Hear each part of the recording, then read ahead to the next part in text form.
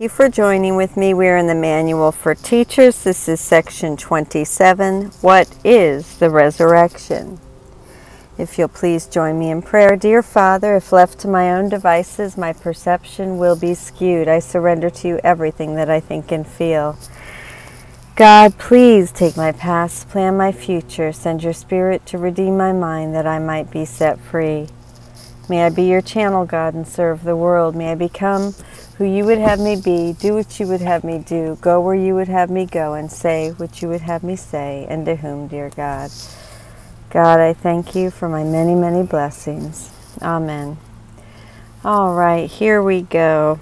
28. What is the resurrection? Very simply, the resurrection is the overcoming or surmounting of death. We'll go to footnote 218.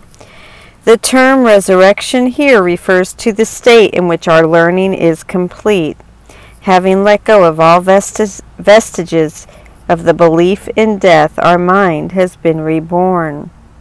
And in this resurrected state, we await God's final step, which will lift us out of time and into heaven.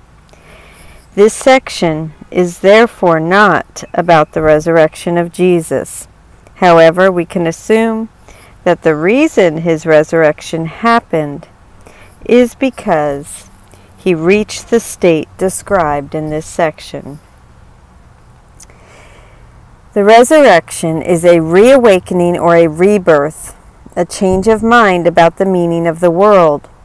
It is the acceptance of the Holy Spirit's interpretation of the world's purpose, the acceptance of the atonement for oneself, it is the end of dreams of misery and the glad awareness of the Holy Spirit's final dream. It is the recognition of the gifts of God. It is the dream in which the body functions perfectly, having no function except communication.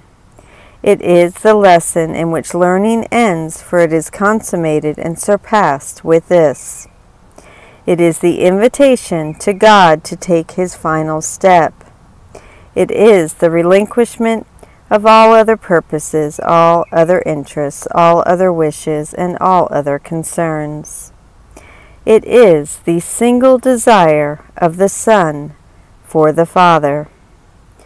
The resurrection is the denial of death being the assertion of life. Thus is all the thinking of the world reversed entirely. Life is now recognized as salvation, and pain and misery of any kind perceived as hell. Love is no longer feared, but gladly welcomed. Idols have disappeared, and the remembrance of God shines unimpeded across the world. Christ's face is seen in every living thing, and nothing is held in darkness apart from the light of forgiveness. There is no sorrow still upon the earth. The joy of heaven has come upon it.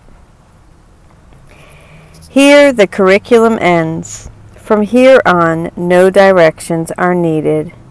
Vision is wholly corrected and all mistakes undone. Attack is meaningless as peace has come. The goal of the curriculum has been achieved.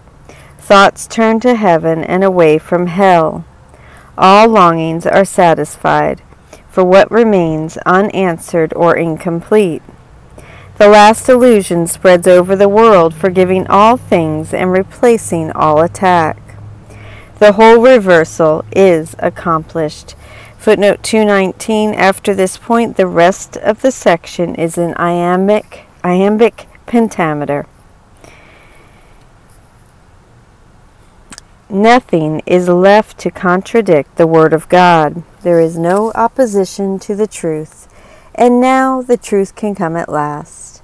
How quickly will it come as it is asked to enter and envelop such a world? And I will stop there for today. Section 28, the first half, paragraphs 1 through 3. What is the resurrection? Thank you so much for joining with me. I love you. Have a beautiful day.